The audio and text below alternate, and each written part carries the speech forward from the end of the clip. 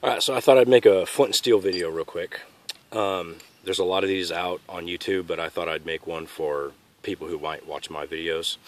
And what it is is a, a flint rock and a steel striker, and they work just by banging together and generating sparks. And this is a very old method of using um, or lighting fires. Uh, in fact, Roman soldiers were actually issued these, and you can actually buy these in Europe uh, as souvenirs where they dug them up in archaeological digs. But um, I have a piece of char cloth, and uh, there's you can char char a lot of different things, but you just get it on there, and you get it to burn like that, and then you take a, a tinder bundle like this, and this is um, this is a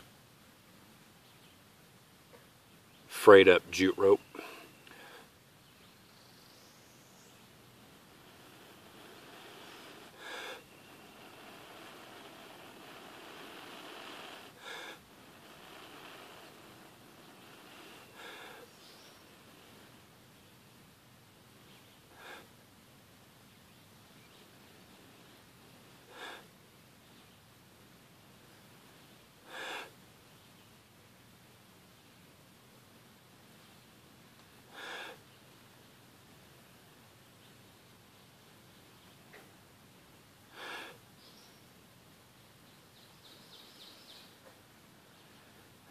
It's really not wanting to cooperate.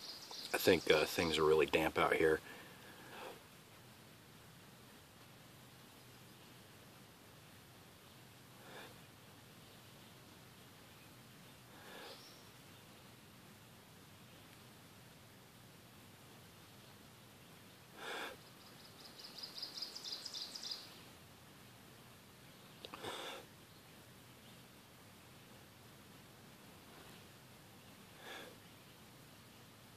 There we go.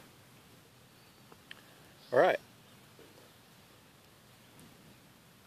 And all that was was just a piece of jute rope teased down to its individual strands.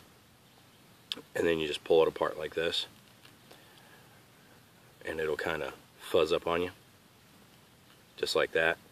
And uh, about a four or five inch section of this stuff will make that little bundle. And it does take some trial and error. I'm a little rusty on it. Um, last year I made most of my fires using this method, but uh, I was using cedar bark, which has a lot of natural oils in it. And uh, anyways, I just thought I'd show that. And uh, this could be added to the fire um, that I did with dryer lint.